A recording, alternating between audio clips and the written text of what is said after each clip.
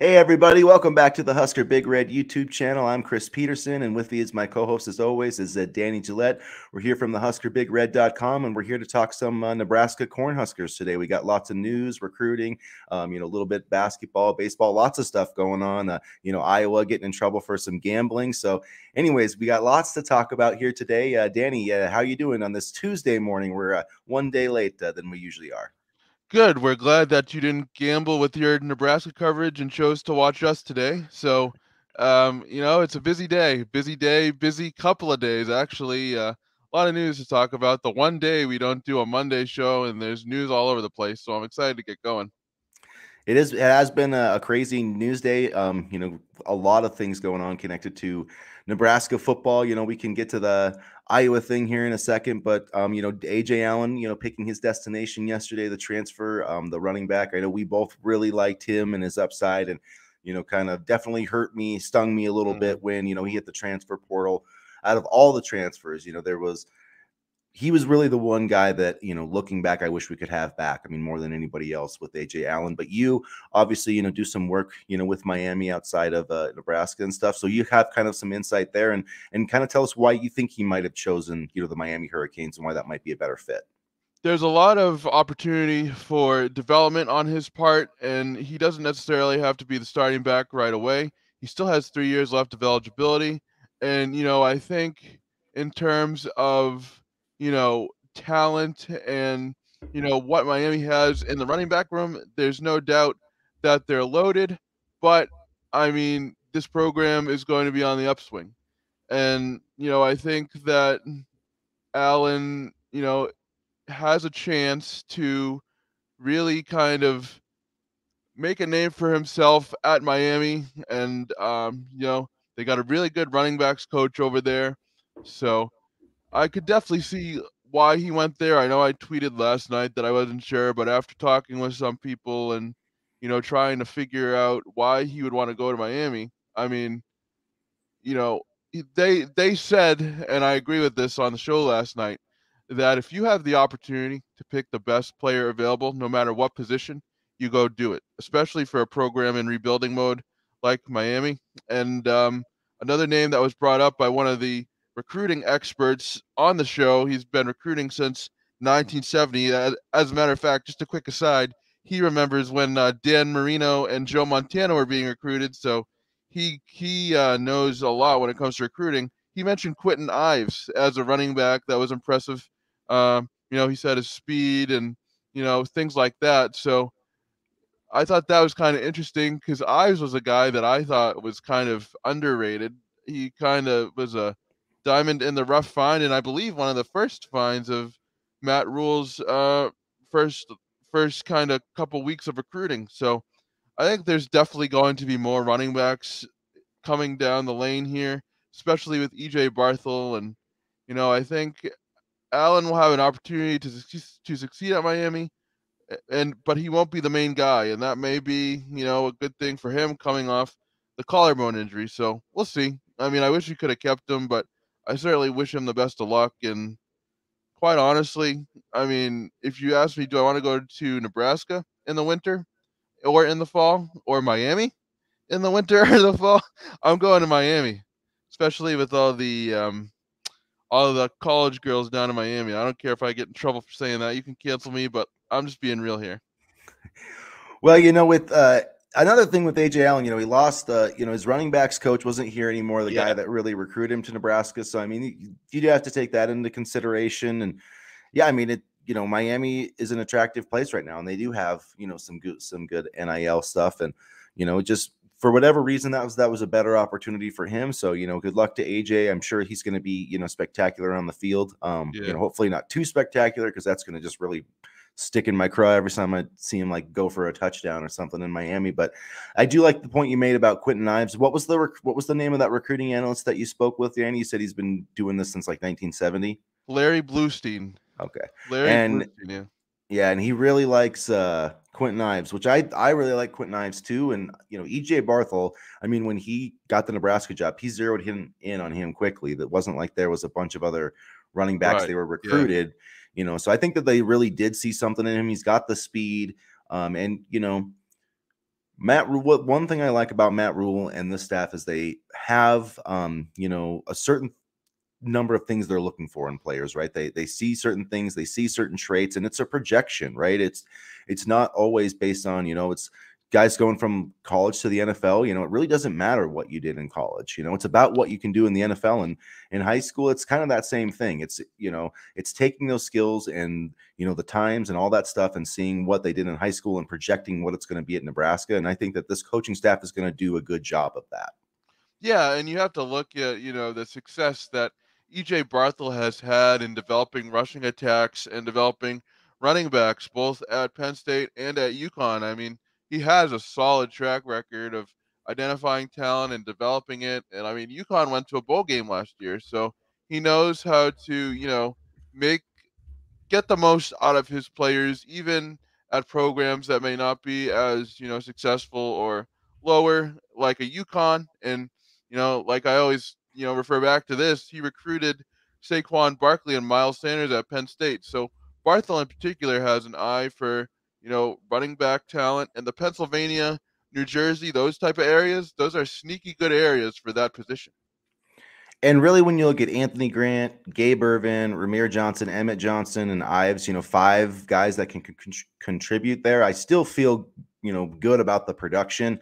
It's more like I said, you know, I viewed Ajay Allen as a future starter, but hey, maybe Ives can come in this year and, and kind of, you know, take over that role. And, and Emmett Johnson too. I mean, I think Emmett Johnson's the guy that you know is is going to get talked about more. And uh, I still feel really good about you know him, a kid from out of Minnesota. I loved his uh, you know game as a commit, so I still you know feel you know that he has a pretty bright future at Nebraska. So while it does hurt to lose Ajay Allen, that's just the way that it works in the transfer portal. You're going to lose talented players, you're going to add talented players, and um, one thing that I thought I guess was interesting, you know, last night is Matt Rhule was talking about. Um, I can't remember who he even did the show with, but he was talking about you know the quarterback position and taking these guys backs.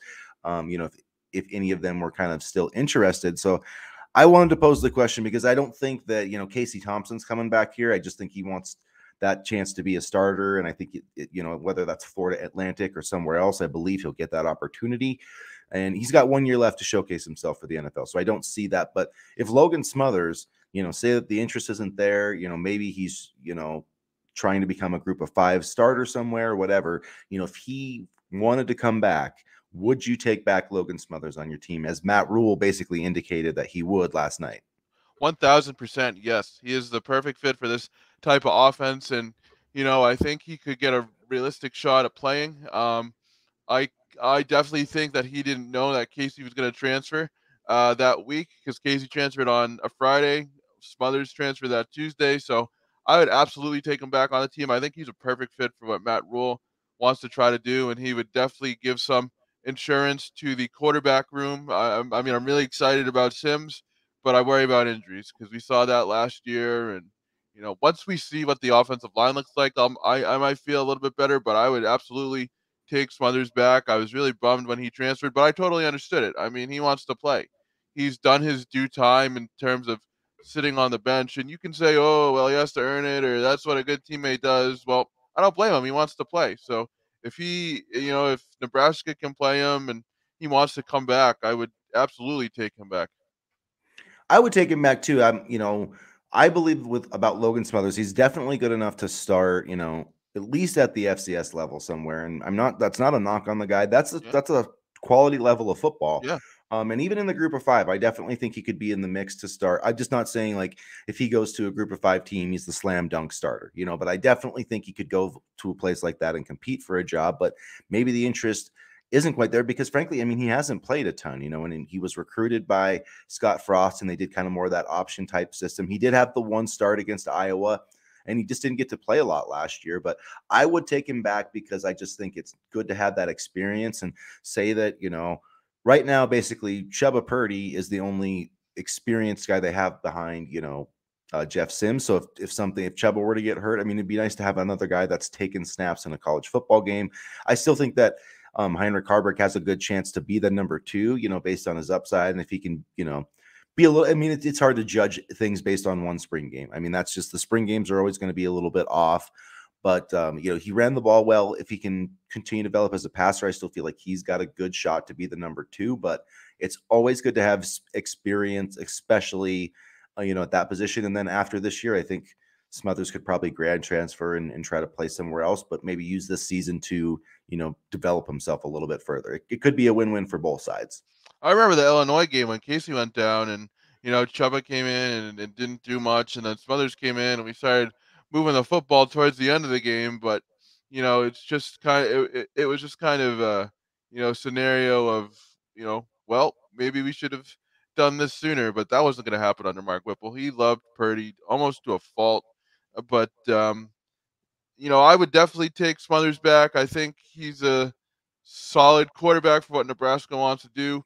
I do think running is a little bit more of his strength than passing, but quite honestly, as long as you score touchdowns or move the football, I don't care if you do jumping jacks in the end zone. You know, I mean, uh, you know, if we can just keep the defense off the field, give them rest, and score touchdowns, I don't care how they're scored. And we should mention, you know, uh, Richard uh, Torres went to, you know, Incarnate Word, which I know some people were kind of joking about, but um, they actually have a really high powered offense in Texas. And you know, he's only a freshman, so it wouldn't surprise me if like he went there for two years and threw for like four thousand yards, and then boom, went right back into the portal when he's a graduate. I mean, I think that that that was actually a pretty smart plan if you think about it, yeah. because you know that um, I the last not the last starter, but a couple years ago, Cameron Ward played there and was basically not recruited out of high school, and now he's playing for Washington State, and he was a big deal in the transfer portal last year. So it wouldn't shock me if that happened with Torres down the road. We'll see, but um, Smothers, he, doesn't really have that time, you know, to kind of invest, you know, a couple years in his development. So he's, I, don't know. It wouldn't surprise me if he came back. I don't, I haven't heard of him visiting any places or, or doing anything like that. So we'll see how that goes. But it would, uh, it would be better for him to come back to Nebraska than just to not play anywhere, is what I would think. Yeah, and I'm happy for Torres too, because quite honestly, he didn't get a shot. And say what you want about his skill or whether or not we think he's going to make it, but you know, a kid deserves to play and it's not a it's not an entitlement thing. It's just the fact that if he got a better shot to play football somewhere else where he's literally not buried uh, in in the depth chart, then you know go do it. And I hope we see him have success. Hopefully, not against Nebraska if he tears it up at Incarnate Word and then decides to play you know major college football. But I'm happy these kids are finding homes because too many because too often you know kids enter the transfer portal and then they have nowhere to go. So, you know, as much as Allen stings, I'm happy he found a home in Miami, and you know Torres made a decision, and then hopefully Logan can come back because I would like him back, and I'd be curious to see what he would do under under Matt Rhule, and I and I think the fact that he at least stayed, you know, for the majority of the spring also says a lot about what he thinks about Matt Rhule as well. Yeah, for sure. I agree with that. Um, and it's, you know, Rhule said it last time. I mean, it's quarterback is a different position, right? It's you can't, there's only one ball that goes around. And maybe, yeah, you could be like, you know, hey, Heinrich Haarberg, we're gonna let you run, you know, play, you know, like Florida used to do with Tim Tebow back in the day, you know, but that's but even even when Tim Tebow, who ended up winning the Heisman Trophy, was kind of given that specialty package, it was a goal line, short yardage type of thing. I mean, he played for one or two plays in that two that, you know, I think it was 09 or whatever, the first Urban Meyer team that won at Florida. So I mean, it's just oh. there's one ball, and that's really that's really much how it goes. 07? I'm thinking. Yeah, you're right. Yeah, that's right. Because yeah. it was Chris Leak and Tim Tebow, I think. Yeah. so it was the 06 regular season and the 2007. Right. Yeah, because that. Yep, that's right. But uh, but yeah, it was. It's just crazy to think about. You know, it's just hard to incorporate more than one quarterback. And with the transfer portal, you know, guys want to go see, you know, if they can play somewhere else and more power to them because you only get four years. So, you know, you're not, there's no point in sitting on the bench forever because I mean, you look at Haarberg, like, yeah, he he might have to sit on the bench this year and potentially next year, but then he could be the starter. I mean, if he wants to wait that long, he could be the starter. And and I could see him having some type of role as like um I'm trying to blank that quarterback from the Saints that kind of does all that stuff. Taysom Hill. Yeah, I could see him. I could totally see Nebraska using him in a Taysom Hill type of uh type of style. And I'm still stuck on the fact that 2007 was 16 years ago. But yeah, no, I mean, I think it's a different game from um, you know back then. And not for nothing, but that goal line package that Florida ran with Tebow was absolutely unstoppable. He had his he he had his jump pass. Oh, the jump pass. and then he could rush it in. Oh yeah, it was it, it was absolutely crazy. And you know, I think it's a different game now though. Players want instant satisfaction, and you know the NIL obviously brings a whole different ball game into it, and um, so you know I, I'm I'm kind of interested to see you know what Nebraska does to address the backup you know quarterback position, whether they stay with the guys on the roster, which I wouldn't mind, or whether they go out and get a veteran. So Uh, yeah, I would. It, it will be interesting because it seems like they could use another quarter. I mean, three just seems like too small of a number to me. I mean, if you could even find a you know a walk of somebody that wanted to walk on as a, as a scholarship veteran, I mean that's happened before. If you can get NIL deals and stuff like that, so it'll it'll be interesting to see how that all plays out. But yeah, I wouldn't be surprised. There hasn't been a whole lot of rumblings with Nebraska in the transfer portal, though. I mean, they reached out to Keon Coleman. I don't think that's realistic at all. Um, they reached out to Bear Alexander before he. So I mean, they they've talked to like some of the top guys, but they're not. Um, you know, it's not like they're doing their due diligence like Auburn or somebody and getting a bunch of uh, getting a bunch of people. They need um, to get some. They need to get some more linemen just because of injuries. I'm willing to develop with the line, but I just worry about that position still. I mean, I have no doubts about you know whether Raiola can get. Well, I kind of do have doubts about whether Raiola can get them coached up, but based off what I saw at this on, on the spring game, I feel a little bit better. I think our defensive line is just going to be that good. Like I think Umanmielen is gonna is gonna absolutely he's gonna be a NFL draft pick in no time. Yeah, for sure. I definitely agree. And um, you know, speaking of uh, talent that we've kind of added, we you know since our last show we talked on last Friday, um, we we talked about the potential commitment of Keelan Smith that we thought was coming. It did come on Friday. Um, we haven't really had a chance to talk about it. Um, we did have some some breakdowns on HuskerBigRed.com if you guys want to check those out on the, what Keelan Smith, you know, kind of means. But I love this commitment actually. Um, I think he's definitely underrated. I mean, I look at this kid, you know, 6'3, 200 pounds, really productive last year. Um, he's got the NFL bloodlines. Um, even Allen Trieu of 24 7 Sports said that his rating, you know, was conservative, that they were hoping to see him at a camp recently and, you know, didn't get a chance due to, you know, timing or whatever it was. But but I definitely would I would be surprised, I'll say, if his ranking doesn't go up from between now and signing day. I really think Nebraska got a steal in Keelan Smith. He's a really, really, really good route runner. I was watching some of his highlights the other day. He can break off routes really quickly and make things happen after the catch. I mean, they have him listed, I believe, as an athlete. Um, you know, I think he played a lot of tight end in high school, but he's the type of guy that can switch between wide receiver and tight end, and so I'm I'm really excited about this commitment. On top of the fact that it's a legacy commitment, and um, you know, it's just another. We were talking. It seemed just a couple weeks ago about how you know this 2024 class was getting off to a little bit of a slow start, and now we've got a couple more commitments under the belt. So it's good to see, and I'm really excited to see what they do with Smith due to that versatility and the ability to, you know, I think play either the wide receiver or the tight end spot. Yeah, it's interesting how the EA is listed as a athlete, as a wide receiver, as a tight end. He caught, he caught a lot of passes last year. Um, so a really productive player. Averaged a lot. I want to say like 15 or 16, somewhere in the yards per reception. Um, I'll have yep. to double check on that. But I, in one thing I wrote in, in my kind of reactions article to it, I just really like that you know, Rhule and company. I mean, they don't care that uh, you know Missouri or whoever's the only other school to offer. I mean, there's been other teams that are interested in, but they see something that they like. They see a good athlete, you know, a guy with a great body that can be developed, you know, going forward. NFL bloodlines, like, don't mess around with that. There's no reason to. Um, so I just think that it's a smart take for Nebraska. You know, his dad Neil Smith was you know, very underrated recruit and ended up, you know, being a top five draft pick. I'm not saying that Keelan Smith's going to be that at all, but I feel like this is a this is going to be a player that you know his ranking is going to go up. And um, while he's not, because I mean, right now there's, I mean, I think in his composite ranking, I mean, there's sites that don't even have him ranked right now. Yeah. So I mean, that's just like, come on. I mean, have you guys not seen him play? So I, I feel like that is part of it. Um, and I, so at some point at the very least, to me, he feels like a top 500 kid, and uh, I think that we're going to look back on this one as a as a really good um, get in this 2024 class.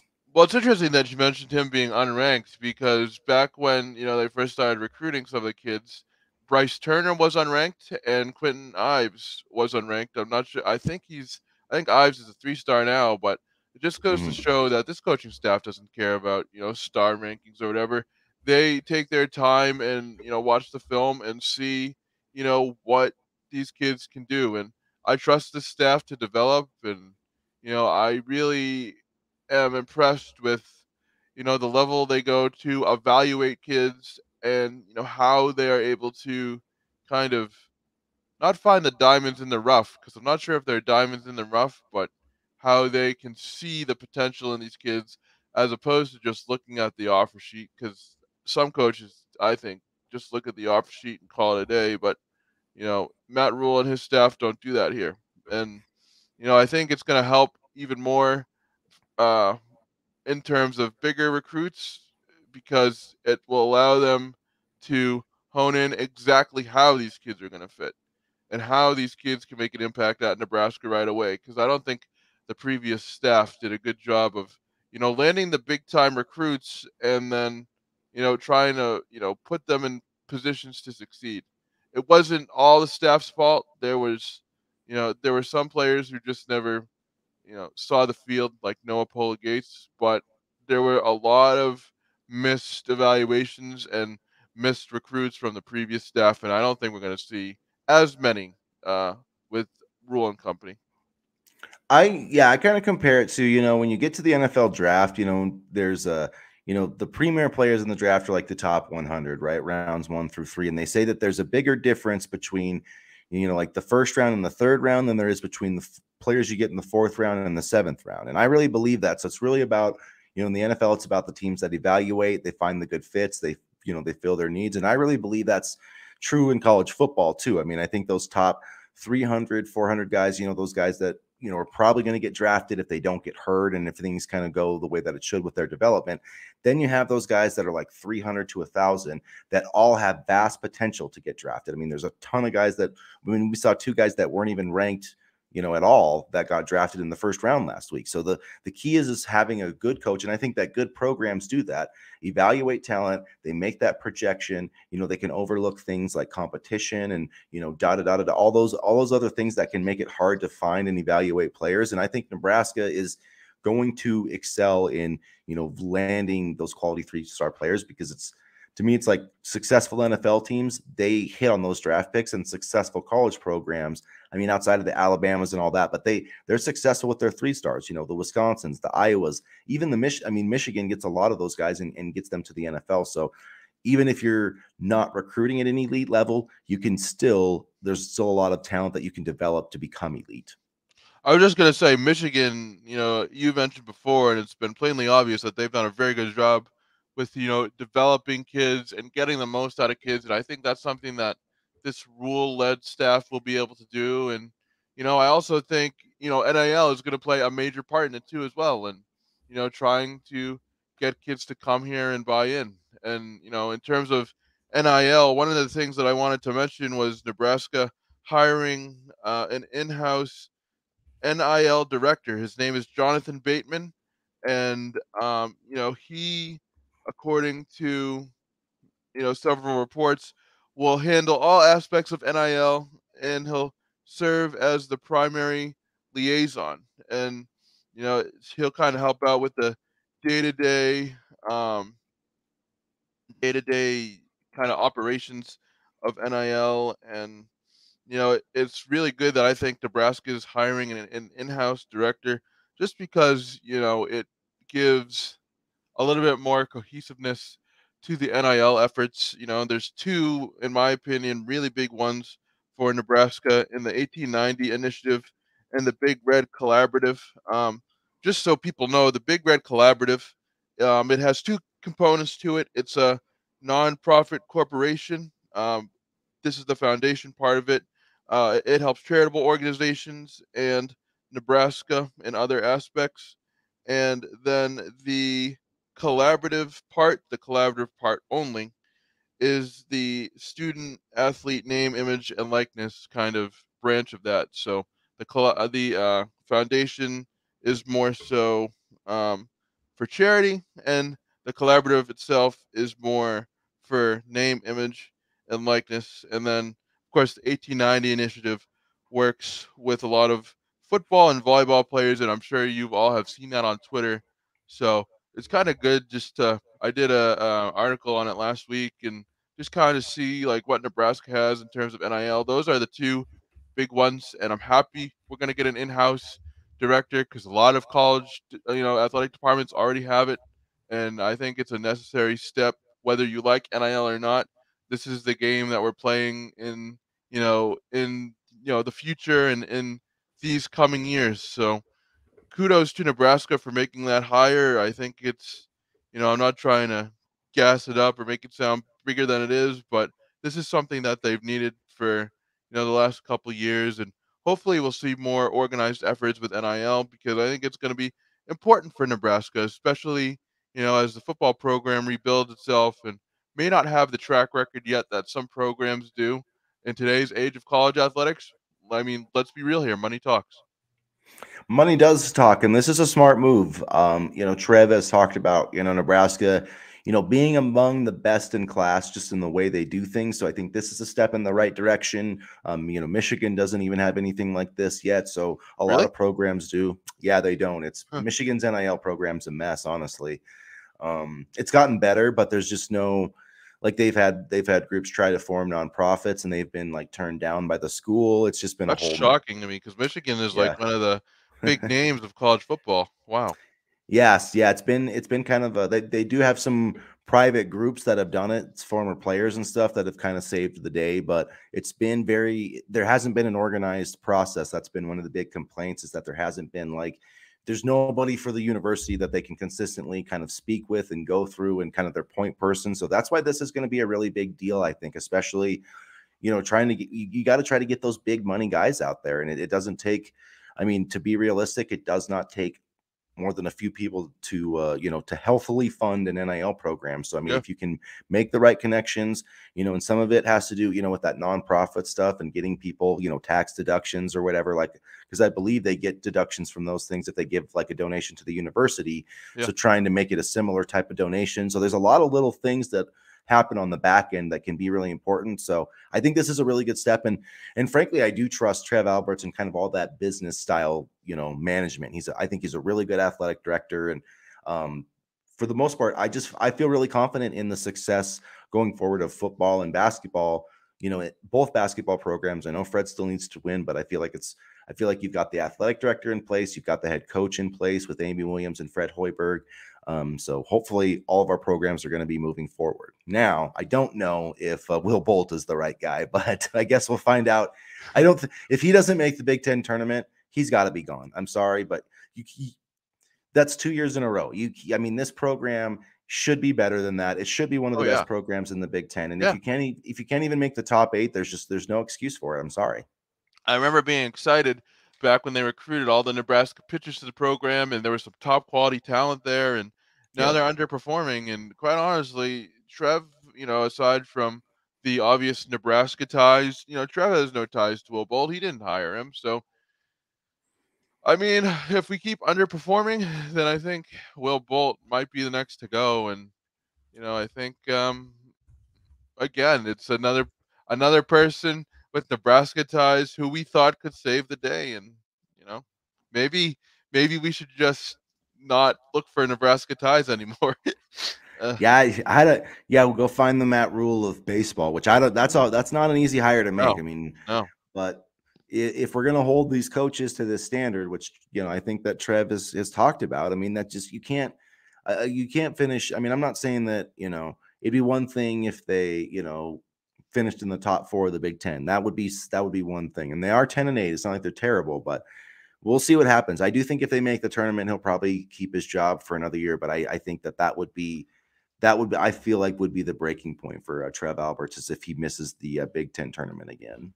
And you know they have a they have a really good offense. I mean, for the most part, they have really good offense. But you know, I think they got beat what twenty to five on Sunday. Was it by by Maryland? Yeah, so, it was it was ugly. Yeah, they. I mean, they needed to I mean, the last I think they've lost like two or three series in a row because I mean, it, it, wasn't a couple of weeks ago they were like a half game out of first place, and I mean, they're still only I think like three. I mean, they're not in in range to win it, and there's a bunch of teams that are ten and eight. So that's just like Big Ten baseball this year. But Yeah. I just with the offense that they have and the pitching and every, I just don't understand why they are having these struggles. I guess.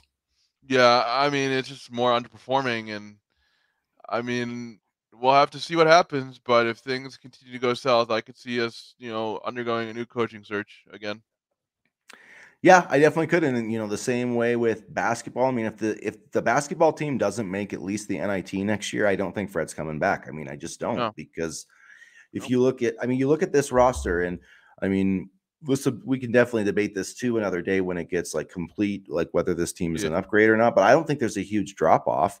And you look at like the Bart rankings. I mean, he's he's one of the smartest analysts in college basketball. and He's got Nebraska in the top 50, like right now. So I I feel like. I mean, we don't know for sure if Keisei is coming back, but everything's kind of pointing that way. So I mean, really, everything is is on the table here for Fred Hoiberg to you know get this team back to postseason basketball. And if he doesn't, then like you got to find someone who can. Like, sorry, that's just Yeah. it's it's a bottom line business. And even you know, you know, I made the excuse. Oh, he's had he's had several different rosters with the transfer portal, but the last two, like the last two years, I'd say he's had quality, you know, veteran players. So if he doesn't make the tournament or the post or at least the NIT, then I think it's time to look for a new basketball coach. And I know I've talked about and we've talked about the ceiling of the Nebraska basketball program, and you know, it, it's not incredibly high, but we expect better results than this.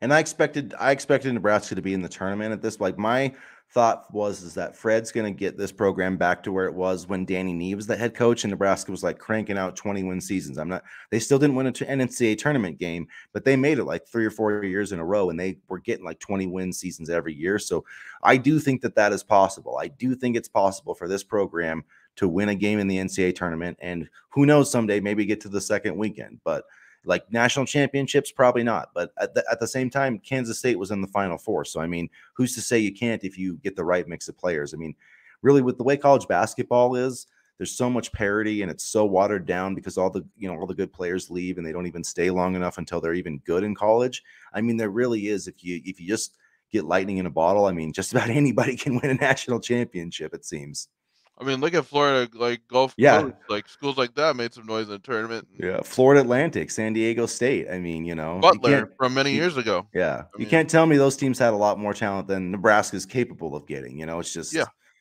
But at any rate, They had good coaching. They had that's the thing. They had good coaching.